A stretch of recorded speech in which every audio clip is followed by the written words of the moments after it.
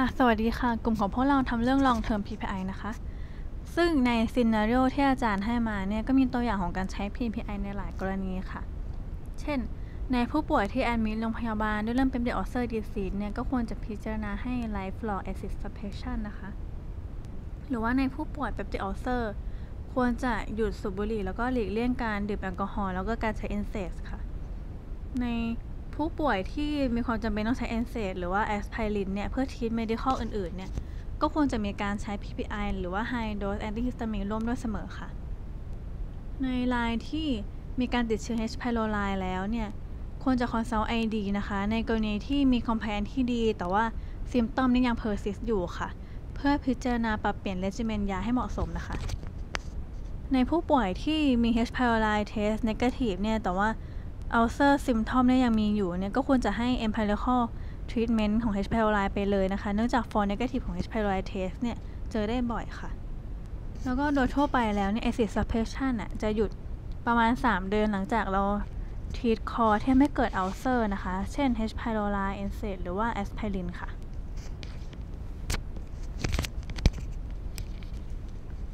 ค่ะ ยังไงก็ตามนะคะ long term PPI use เนี่ยก็คือควรจะใช้ในผู้ป่วยที่ admit เข้าโรงพยาบาลด้วย ulcer complication ค่ะ แล้วก็ผู้ป่วย high risk ทุกคนที่ on NSAID หรือ aspirin ซึ่ง high risk ในที่นี้ก็คือหมายถึงผู้ป่วยสูงอายุ หรือว่ามี comorbidity เยอะๆค่ะ แล้วก็ผู้ป่วยที่มี recurrent ulcer หรือว่า bleeding อะค่ะ ซึ่งแล้วก็ PPI use เนี่ยก็คือควรจะใช้ในผู้ป่วยที่เป็นคนที่สูบบุหรี่มานานๆ แล้วก็มีประวัติของเรื่อง hepatic ulcer อะค่ะ ซึ่งในหัวข้อที่เราได้รับจากอาจารย์เนี่ยก็คือมีอยู่ด้วยกัน 2 หัวข้อค่ะสำหรับประเด็นนี้นะคะ ก็คือข้อแรกหา evidence เพิ่มเติมเพื่อมา discuss เพื่อ support หรือว่า disprove การใช้ PPI use ค่ะ แล้วก็มีกรณีไหนบ้างที่ควรให้ PPI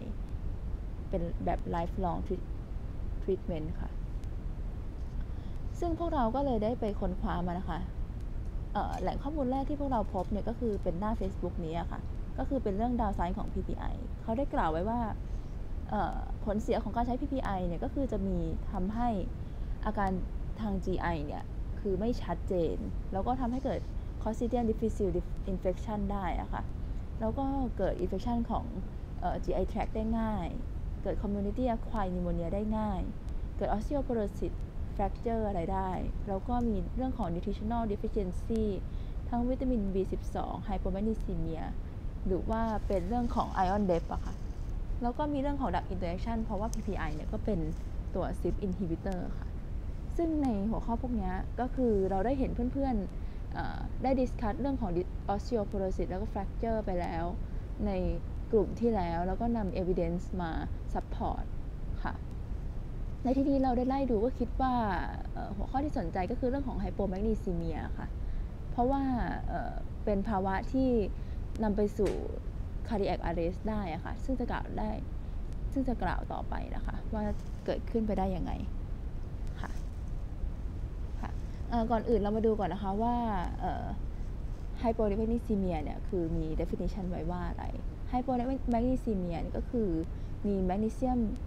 concentration ในซีรัมเนี่ยน้อยกว่า 1.8 มิลลิกรัม per deciliter ค่ะ ซึ่งเกิดได้จาก inadequate magnesium intake หรือว่า poor absorption หรือว่า increased excretion ซึ่งอาจจะเกิดได้จาก hypercalcemia หรือยา เช่น furosemide แล้วก็ PPI ของเรานี่เองค่ะ ผู้ป่วยเนี่ยจะมา present ได้ด้วยอาการ lethargy มี tremor มี tetany seizure arrhythmia ได้ค่ะ แล้วก็อาจจะมีพบ electrolyte imbalance อื่นๆ ได้ก็คือ hypo K แล้วก็ hypocalcemia ค่ะ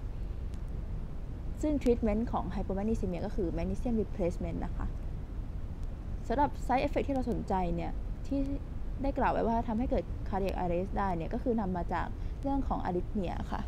ซึ่งจะเป็นเรื่องของตัว torsades de pointes ซึ่งจะมีลักษณะของ EKG ตามนี้นะคะ ซึ่ง torsades de pointes เนี่ยก็คือจะเกิดได้จากทั้ง hypomag แล้วก็ hypo K ค่ะทำให้เกิด QT prolong ได้ แล้วก็ สุดท้ายก็คือทำนำไปสู่ cardiac arrest ได้ค่ะ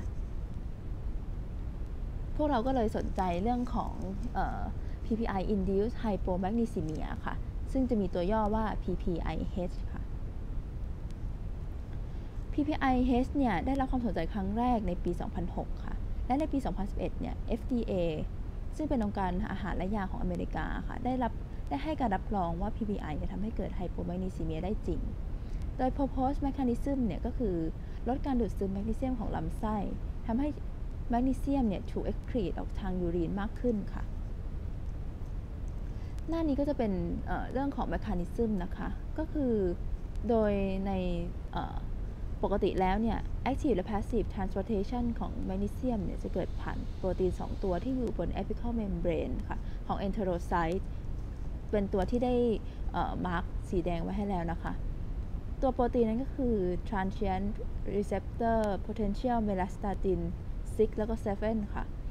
ซึ่ง activity เนี่ยจะถูกควบคุมด้วย intraluminal acid base status ของลำไส้ค่ะ โดยความเป็นกรดเนี่ย จะทำให้โปรตีนนี้ทำงานได้ดีขึ้น เมื่อ PPI เนี่ย ลดความเป็นกรดในลำไส้ การทำงานของโปรตีนชนิดนี้จึงลดลง Magnesium absorption จากลูเมนผ่านทางโปรตีนนี้จึงลดลง ปริมาณของแมกนีเซียมในเลือดในซีรัมก็คือจะลดลงเกิดเป็น hypomagnesemia ได้ค่ะ ซึ่งจากการค้นคว้าเพิ่มเติมก็พบว่ามี meta-analysis ของทีมแพทย์อายุรกรรม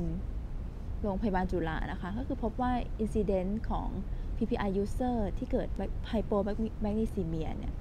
เป็น 19.4%หรือจะพบทุกหนึ่งทุก 5 คนจะพบ 1 คนค่ะ และมีออดเรโชระหว่าง PPI user กับผู้ป่วย ที่เป็น non PPI user ในการเกิดไฮโปแมกนีซีเมียเนี่ย คือ 1.83%ก็คือ PPI user เนี่ย มีโอกาสเกิดภาวะไฮโปแมกนีซีเมียมากกว่า non PPI user ถึง 1.83 เท่าค่ะ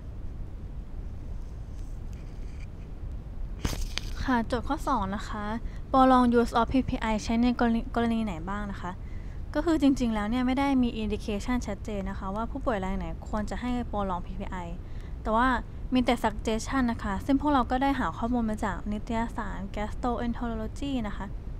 ฉบับเดือนมีนาคม 2017 ค่ะ ซึ่งก็ได้แอดไว้อยู่ 5 ข้อนะคะ ข้อ 1 ก็คือ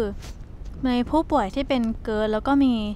acid related complication นะคะ เช่น erosive esophagitis หรือว่า peptic stricture เนี่ยก็ควรจะใช้ PPI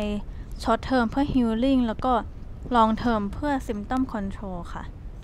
ข้อ 2 คนไข้ที่เป็น uncomplicated GERD เนี่ยที่ response ต่อ short term PPI แต่ว่าไม่สามารถหยุดหรือว่าลดยาได้เนี่ยก็พิจารณาเป็นโปรลอง PPI ไปเลยค่ะ ข้อ 3 นะคะ ผู้ป่วยที่เป็น Barrett esophagus แล้วก็มี symptom ของ GERD เนี่ย ก็ควรจะให้เป็น long term PPI ข้อ 4 ก็คือผู้ป่วยที่เป็น Barrett esophagus แต่ว่าไม่ได้มีอาการนะคะ ก็ควรอันนี้ก็คือ